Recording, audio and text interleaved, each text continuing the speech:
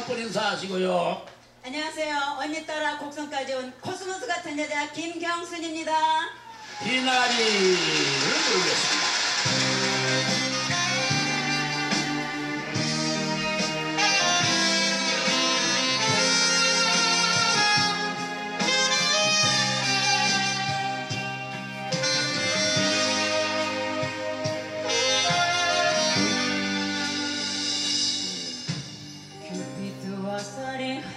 가슴을 뚫고 사랑을 시작한 걸. 또다시 운명의 페이지는 넘어